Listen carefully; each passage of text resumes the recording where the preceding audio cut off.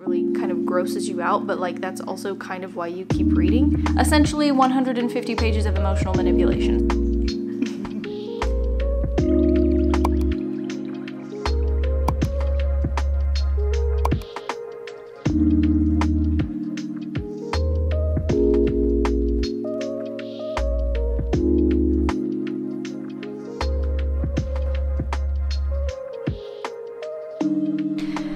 Hello, my darlings. This should be the Halloween vlog. I am gonna give a reading update for Sign Here, which is the book that I was reading in my last vlog.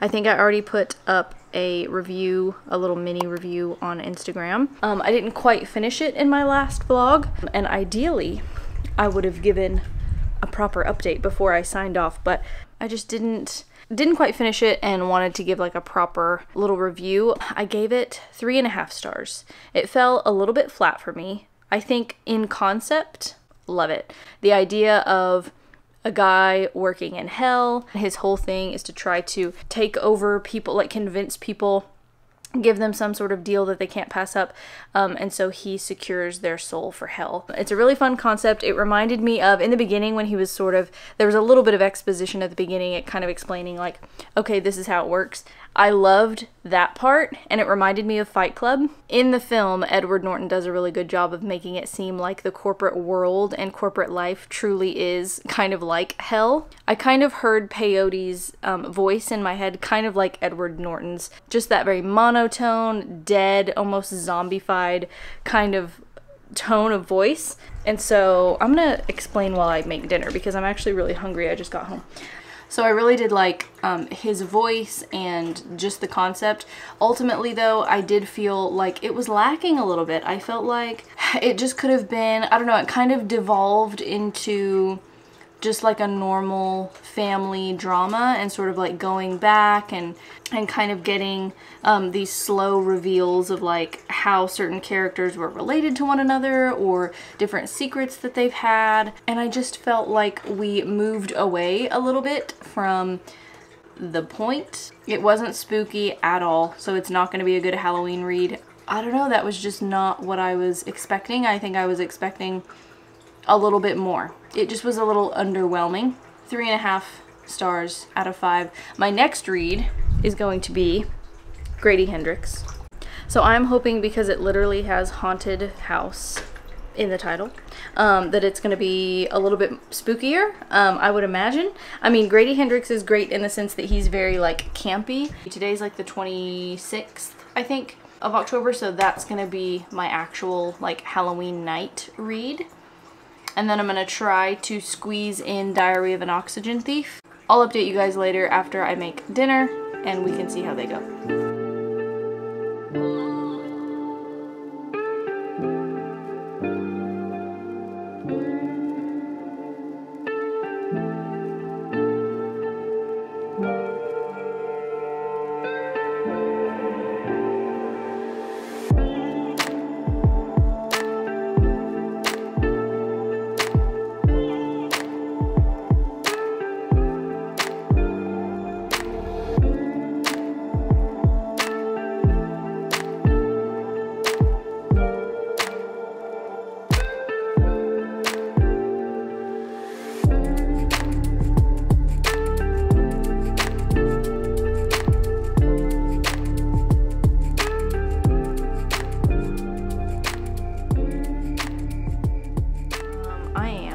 44 pages in. I've done a little bit of reading. I started it yesterday, I think, um, and did a little bit of reading last night. I'm really liking it so far.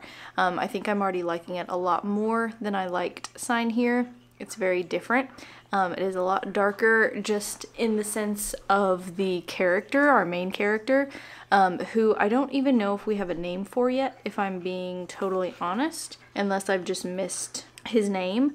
Um, but he is really the textbook definition of a misogynist.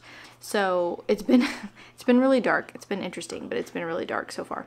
Um, and I think I like it enough, like the prose style already, to go ahead and probably thrift a copy of the sequel, Chameleon in a Candy Store. So I think I'm probably gonna go ahead and thrift that because these are so short. I assume the second one's probably pretty short as well. Um, it's only 150 pages, so If the second one is just as thin, it won't take me very long. I am enjoying it, but it's like the kind of enjoyment that you get from a book that's kind of twisted, like reading something like Lolita.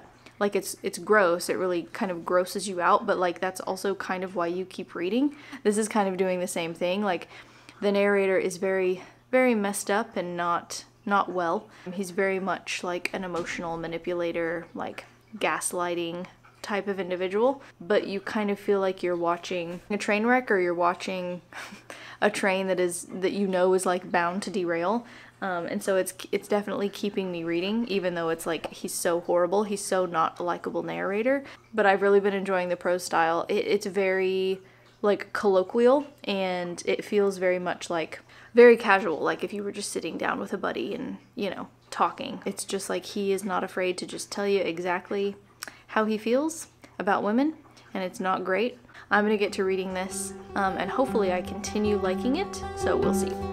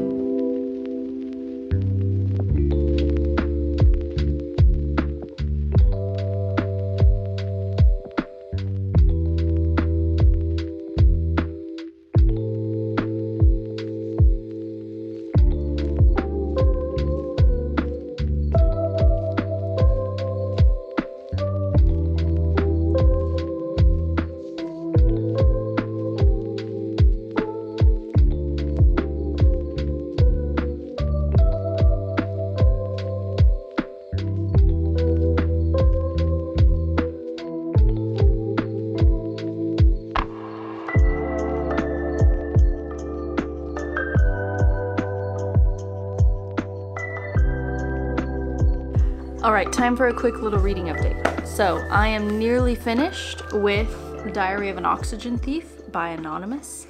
It did take us a while to get to the woman that is referenced um, in in the blurb.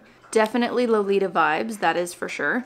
I think it, it took us about halfway to get to her, like to the referencing of her, or for at least to like pick up and start to get serious and for us to see some interaction between them. So it was moving a, like maybe a little bit slowly there at the beginning, but I literally have like four or five pages left, but I just got the call that my grocery pickup is ready. So I'm gonna go get myself some groceries. I'm gonna go run through the line and pick those up. And then as soon as I come back, I'm gonna finish. And then I will give you guys a little update um, or like a little mini review of what I thought.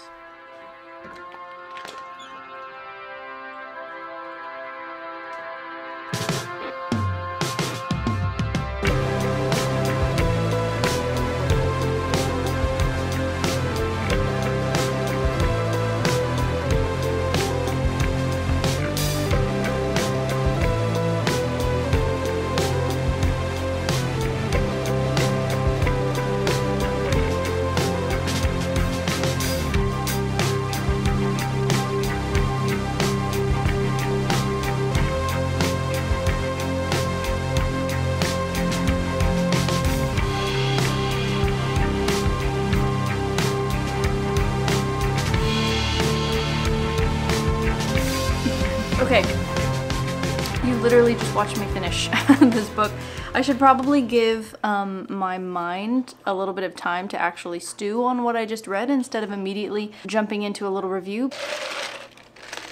So I loved this. He even references, he kind of breaks the fourth wall a little bit, the narrator. Um, and he even references the sequel at the end in the final paragraph. He's kind of saying like, if you're reading this, it means, you know, my story was published and I'm probably working on the screenplay or my, or, or the sequel. So it's funny that I literally just ordered the sequel earlier. So that tells you how much I liked it before I even finished the first one. I had already ordered the second one. There's just something about it. And I know I already mentioned this earlier when I was talking about like the prose style and the voice of the narrator, it's rare, I find, that you get a narrator who is so just down and dirty and scummy um, and weirdly proud of it. And I don't know, there's something really like weirdly refreshing about that. I think it's, you're supposed to feel like that though. Like, it's kind of like, um, is it Humbert? Is that his name? The guy in Lolita? You have such weird mixed feelings for him because on one hand, you understand, you know, what it's like to be in love and the, the love that he has for Lolita is so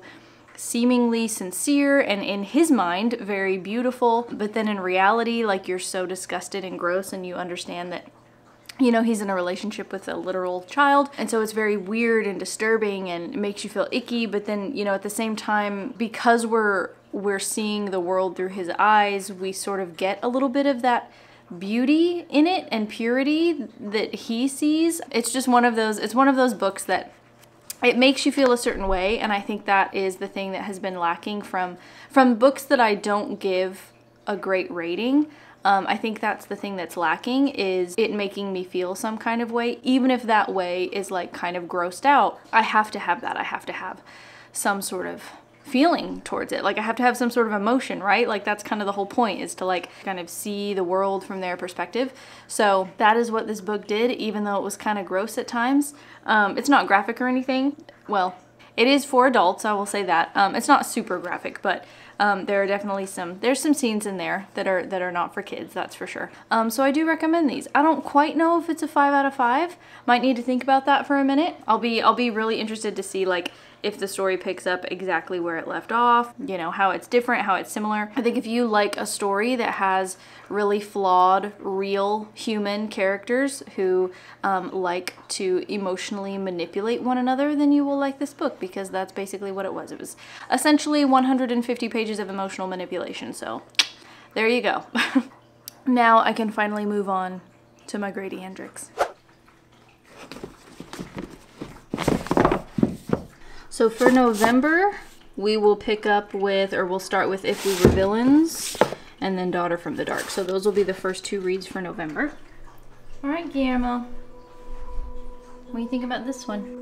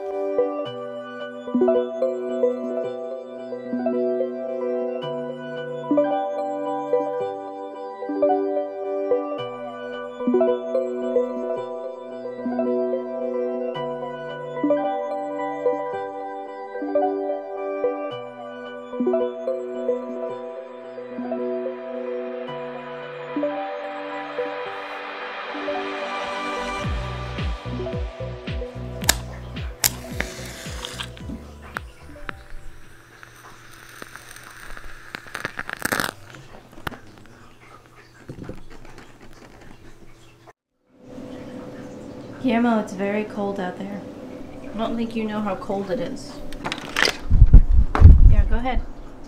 Good morning, everyone. It is absolutely freezing outside. I did a little bit of reading last night. I got to chapter four, so I've read 30 pages. I'm gonna try to literally just read all day, as much as I possibly can. I'm gonna stay inside and stay cozy. You can probably hear the heater on. I finally had to turn it on for the first time. Um, so anyway, let's get to reading.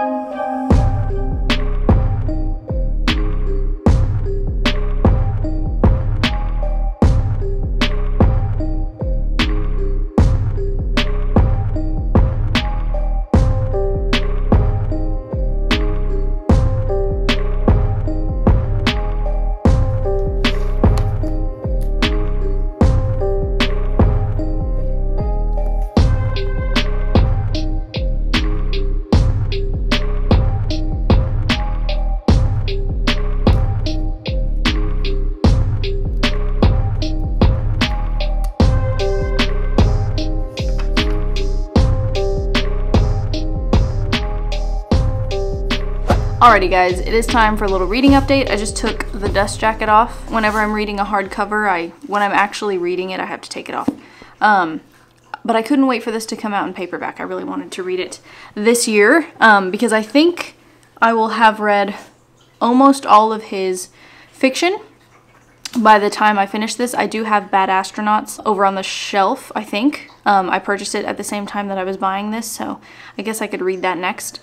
Um, and then I would have all of his fiction completed. There's a couple of nonfiction things I don't know that I'm super interested in reading. I'm about 100 pages in. I figured I would do like a 100 page update and I'm about this far in, so not too bad. Um, it's going pretty well. We're moving towards something. There's a lot of things being like hinted at that I feel like are very obvious and I'm kind of like ready for them to happen. Like I'm kind of ready for us to see those things unfold. Like there's a lot about dolls in here.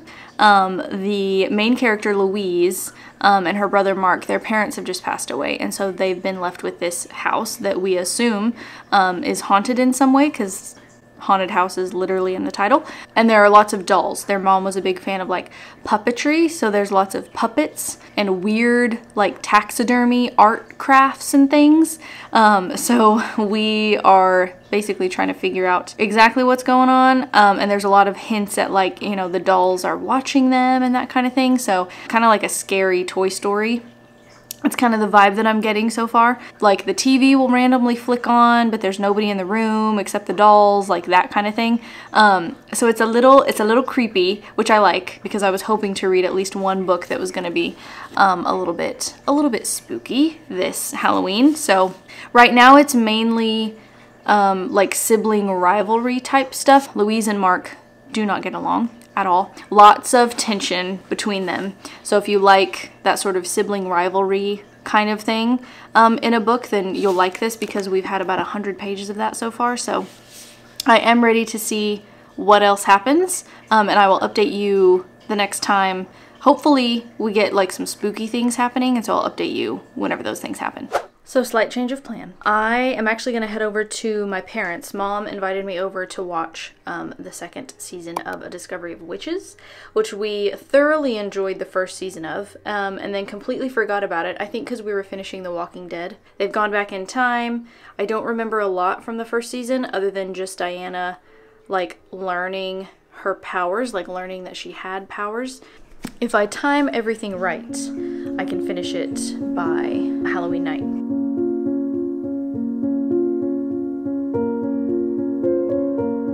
Okay, I told you that I would do another update as soon as like creepy things started to happen. Um, I have just absolutely smashed my dinner. It was delicious. Um, I am on page 188, um, so I'm about halfway through now, actually. Things are finally, like really creepy things, um, are finally starting to happen. It has taken a while. I mean, I'm nearly 200 pages in, like halfway in. So we're getting a little bit of a slow start. I think I do this thing with Grady Hendrix where um, I kind of build him up in my head and then when I'm actually reading I'm like really like ready for things to kind of ramp up and things to kind of get moving a little bit faster. Like I want I want the action like give us the action that's what he's good at. He's good at the little twists and turns. There's a flashback that just happened um, when Louise was like, I don't remember, I don't know if it said how old she was, four or five, um, and her brother is two, and they're out on a frozen pond, and the puppet is like an evil puppet. Things are happening, and I am excited to probably just spend the rest of the night reading.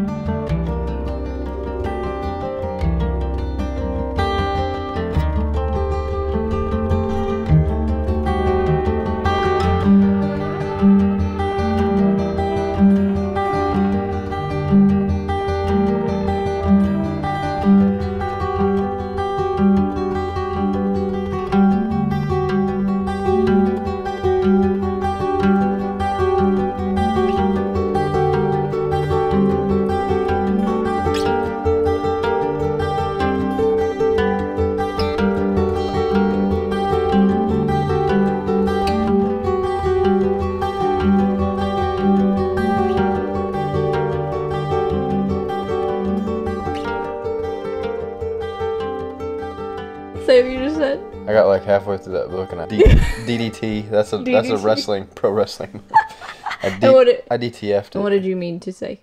I DNF'd. There you go.